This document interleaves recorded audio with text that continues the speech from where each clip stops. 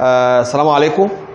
هنتكلم يا شباب النهارده عن عوامل قيام الحضارات عايزين نعرف إيه هي العوامل أو إيه هي الأشياء التي إذا وجدت في أي دولة أو أي مكان تقوم في حضارة. إيه هي الأشياء التي إذا وجدت في أي دولة أو أي مكان تقوم في حضارة. هنقول كده مع بعض. ها. فكر إيه هي الحاجات اللي هي إذا كانت موجودة هتقوم حضارة؟ طبعا أول حاجة الإنسان لازم يتوفر يتوفر إليه إن هو يكون مكان فيه مية. فهنلاقي إن معظم الحضارات قامت في الأماكن اللي يكون فيها مية زي الأنهار. طيب إيه تاني؟ قال لي ممكن كمان نلاقي الموقع بتاع المكان يساعد على وجود الإنسان فيه. إذا كان الموقع ده بيسهل الاتصال بينه وبين الدول التانية يبقى الإنسان بالحادي ممكن يعيش فيه ويقدر يبني فيه حضارة. تالت حاجة الحدود اللي عايش فيها. هل هي حدود مهددة ولا حدود آمنة؟ المكان اللي عايش فيه مؤمن يحميه من دخول أعداء ولا سهل الأعداء يخشوا له؟ يبقى برضه الحدود. حاجة مع حاجة من ضمن الحاجات اللي بتأدي لقيام حضارات كمان ممكن نلاقي عندنا برضه يا شباب آه المناخ. إذا كان الإنسان عايش في مناخ معتدل يساعد على وجود إنسان ويساعد الانسان يعيش فيه ويعمل نشاط ويقدر يشتغل ويبني حضارة. يبقى المناخ من ضمن العوامل.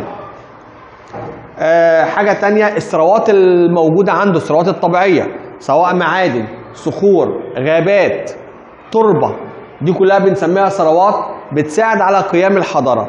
وفوق ده كله أهم حاجة يكون في إنسان يقدر يشتغل ويقدر يبني الحضارة. يبقى اذا عوامل قيام الحضارة الاقيها بتتلخص في عاملين اساسيين في منها عوامل طبيعية وفي منها عوامل إيه؟ بشرية. طيب هل في مصر توافر هذه العوامل؟ هل مصر فيها حاجات تؤدي إلى قيام حضارة؟ الاقي إن مصر فيها حاجات تؤدي إلى قيام حضارة. يبقى أنا عندي أول حاجة بتكلم عليها عوامل قيام الحضارات. وبعد كده بتكلم عن عوامل قيام الحضارة المصرية. ألاقي عوامل قيام الحضارة المصرية في عندي ألف عوامل طبيعية وفي بعد كده عوامل بشرية. أول حاجة هنلاقيها في العوامل الطبيعية هو نهر النيل. نهر النيل ده ألاقيه إن هو نهر فريد في تكوينه لأنه النهر اللي بينحدر من الجنوب إلى الشمال. ومعظم الأنهار في العالم بتنحدر من الشمال للجنوب. يبقى النهر ده بينحدر من الجنوب للشمال وهو جاي من جنوب. ألاقي بيحمل معاه الطمي الذي أكسب أرض الوادي والدلتا التربة الخصبة. فعمل لي تربة خصبة. مصدر للمية فيساعد على استقرار الإنسان. يبقى الإنسان عنده مية وعنده تربة خصبة هيبدأ يتعلم حرف كتير. يتعلم الزراعة. هيتعلم إزاي يعمل أدوات زراعية. هيتعلم يعمل مشروعات ري عشان يستفاد من المية زي السدود أو الترع. يتعلم كمان يبني سفن عشان يتحرك بيها بين شواطئ النهر أو بين المناطق اللي على نهر النيل. يبقى إذا نهر النيل ده علم المصريين كثير من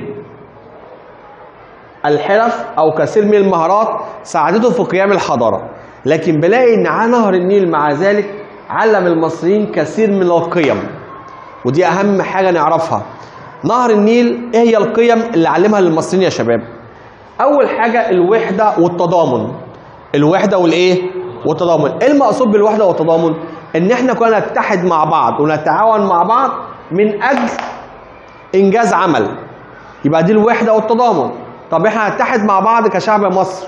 عشان إيه؟ بالنسبة لنهر النيل اللي علمه لنا.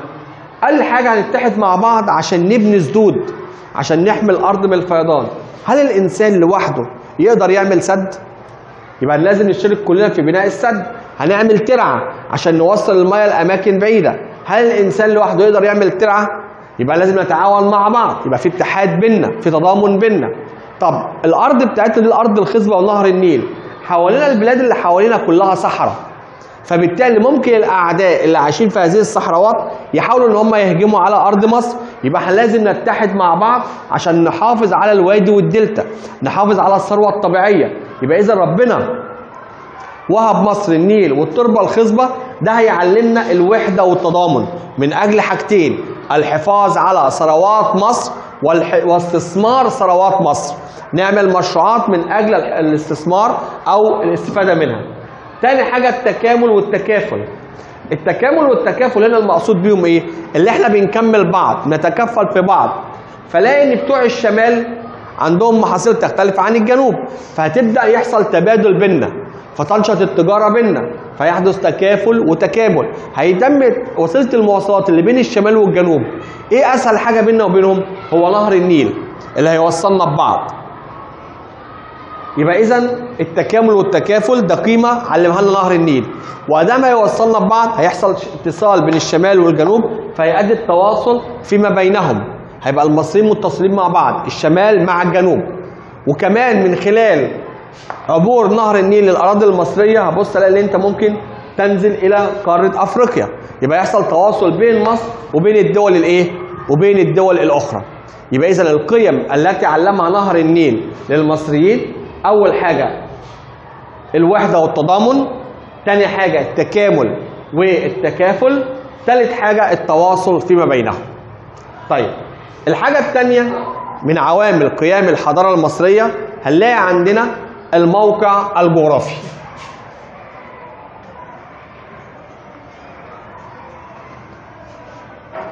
هنلاقي إن ربنا وهب مصر موقع متميز جدا جدا. الموقع ده هتلاقيه إن هو بيساعد على قيام الحضارة. إزاي؟ لو بصينا يا شباب هنلاقي إن مصر بتقع في ملتقى قارتين قارة أفريقيا وقارة آسيا. تتوسط قارات العالم القديم آسيا وأفريقيا وأوروبا. وفي نفس الوقت بتطل على بحرين مهمين جدا في التجارة اللي هو البحر المتوسط والبحر الأحمر. فده هيساعد مصر تقوم بعمل نشاط تجاري واسع مع البلاد اللي حوالينا. طب لما يحصل نشاط تبادل أو نشاط تجاري أنا بروح لهم بتاجر عندهم بشوف الحضارة بتاعتهم. وهم بييجوا يتاجروا عندي بيشوفوا الحضارة بتاعتي. فبيتم بالتالي بيحصل تواصل بيننا وبينهم. يبقى إذا الموقع ده جعل مصر ليست بمعزل عن العالم وعن تطورات العالم الآخر. لذلك كان من ضمن عوامل قيام الحضارة في أي دولة هو الموقع الجغرافي. ومصر أيضا تتميز بموقع جغرافي مهم. يبقى ده ساعد على قيام الحضارة المصرية. نتكلم بعد كده عن الثروات المعدنية. المقصود يا شباب بالثروات المعدنية المقصود بالثروات المعدنية هنا إيه هي؟ المقصود بها الصخور أو المعادن. الثروات المعدنية الصخور والإيه؟ والمعادن. طب ربنا وهب مصر ثروات كتيرة جدا من الصخور والمعادن. فعبقرية الإنسان المصري إن هو قدر يستغل هذه الصخور في بناء الحضارة بتاعته. طب الصخور دي هيعمل بيها إيه؟ ده ما شاب ما سابهاش صخور كده في الجبل أو في المناطق الصحراوية. لا ده استغلها. فبنلاقي مثلا من ضمن الحاجات اللي عملها نحت منها التماثيل. التماثيل اللي إحنا بنشوفها دي مش مبنية دي منحوتة. يعني كانت كتلة صخرة كبيرة وكسر فيها كده ونحتها طلعها بالشكل اللي إحنا العالم كله بينبهر بيه في ذلك الوقت. نحت تماثيل نحت المسلات اللي بترمز إلى الشمس نحت آه التوابيت اللي بيحط فيها الجثة بتاعته. التابوت اللي انت شايفه ده ده منحوت مش مبني. خلاص؟ هنلاقي كمان بنى بينها المعابد بنى بيها اهرامات يبقى إذا الإنسان ما شافش الصخور دي كده ومشي عليها مر الكرام لا ده استغلها وأحسن استغلالها. كذلك المعادن. المعادن اللي كانت متوفرة في أرض مصر هلاقي إن المصريين استغلوها أحسن استغلال. فصنعوا منها الأدوات بتاعتهم. صنعوا منها الأسلحة. صنعوا منها الأواني. صنعوا منها الحلي من الذهب والفضة. يبقى الإنسان ذكاء الإنسان المصري إن هو استغل الثروات الطبيعية اللي ربنا اداها له وقدر يبني بيها الإيه؟ الحضارة. طيب غير الثروات الطبيعية في عندنا الحدود الطبيعية. الحدود دي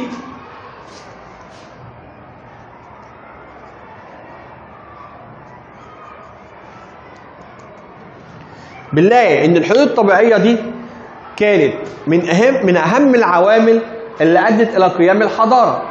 ودي هنشوفها إزاي؟ لو بصينا لحدود مصر ألاقي ان بيحد مصر من الشمال البحر المتوسط. بيحدها من جهة الشرق ومن جهة الغرب الصحراء الواسعة. والصحراء الواسعة في الشرق والغرب وفي الشرق كمان في البحر الأحمر. المقصود بمصر هنا يا بنات يا شباب مش مصر اللي هي المساحة لحد ليبيا. المقصود بمصر اللي هي المقصود بيها في الوقت ده اللي هي نهر النيل والأراضي الخصبة اللي حواليه. هي دي اللي كانت مطمع للأعداء. لكن بعد كده بلاقي صحراء وصحراء. فاللي عايز يخترق هذه الصحراء عشان ينال من الأرض مصر كان بيهلك في الصحراء. اللي عايز يجي من الشمال كان صعب عليه لأن وجود البحر ده عازل طبيعي أو مانع طبيعي. فكان صعب اختراقه بسهولة فده بيحمي مصر من الشمال. حتى من الجنوب ألاقي في نهر النيل في الجنوب في عندي عن حاجة اسمها الجنادل. الجنادل عبارة عن صخور كبيرة بتعترض مجرى النهر. فأي واحد أو أي أعداء هيجوا من ناحية الجنوب هتصطدم المراكب بتاعتهم بالجنادل دي. فتكسر لي المركب بتاعتهم. يبقى كده بتحمي لي مصر من الجنوب. عشان كده بنقول إن حدود مصر الجنوبية كان حق حدود لها جانب إيجابي وجانب سلبي.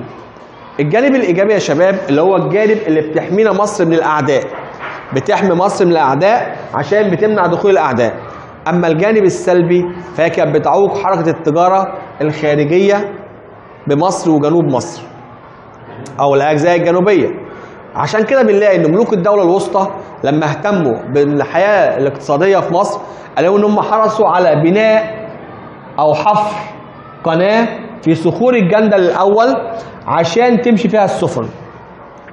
لكن قبل كده كانت عبارة عن عامل منيع أو حاجة منيعة في الجنوب تعوق انتقال السفن فبالتالي بتحمي مصر من جهة الجنوب. يبقى هنا بيتحقق فيها كلام وول ديورانت. وول ديورانت اللي قال عشان تقوم أي حضارة في البلاد لازم يتوفر عنصر الأمان. يتوفر عنصر الإيه؟ ومصر يحيط بها حدود آمنة فبالتالي يقدر تبني فيها الحضارة عشان توفر فيها عنصر الأمان. بعد كده عندي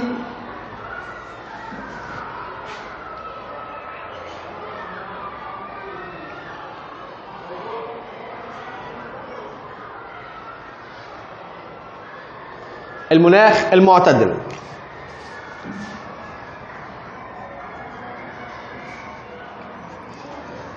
المناخ المعتدل عندي هنا ألاقي ربنا وهب مصر مناخ معتدل والمناخ بتاع مصر فيه ثلاث ميزات بتساعد على قيام الحضارة.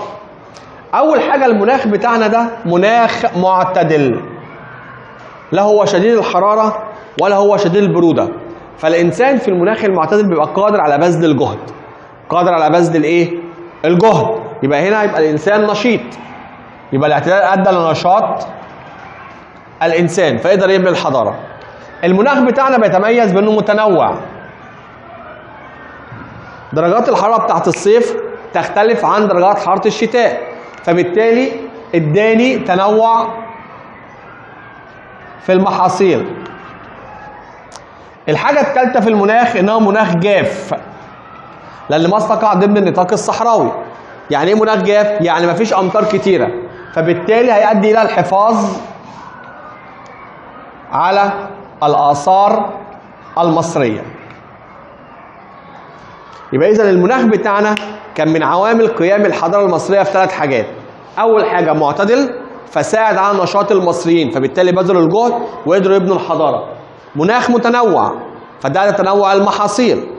مناخ جاف عمل على الحفاظ على الآثار المصرية حتى الآن. الحاجة الثانية اللي عندنا في عوامل قيام الحضارة هي العوامل البشرية. العوامل البشرية بتتلخص في حاجة واحدة بس اللي هو أساس قيام أي حضارة اللي هو الإنسان المصري أو الإنسان. فبنلاقي الإنسان المصري قدر يستغل كل العوامل الطبيعية دي وقدر يبني بيها الحضارة بتاعته. ولولا كفاح الإنسان ما ما اتبنت حضارة. وعشان كده بنقول إن الإنسان المصري دور كبير جدا في قيام الحضارة.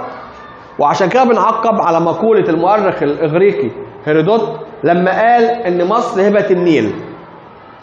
هو صحيح إن النيل ليه فضل كبير جدا في قيام الحضارة المصرية ولكن مع ذلك بنقول إن النيل بس ما يعملش حضارة. لكن يجب أن يقال أن مصر هبة النيل والمصريين. مصر هبة النيل والمصريين. لأن النيل بيمشي في بلاد كتيرة زي السودان وأثيوبيا وأوغندا والبلاد دي كلها. هل عندهم حضارة زي الحضارة المصرية؟ لا. يبقى الإنسان المصري مع وجود نهر النيل قدر يعمل حضارة إيه؟ حضارة كبيرة. يبقى يجب أن يقال أن مصر هبه النيل والمصريين.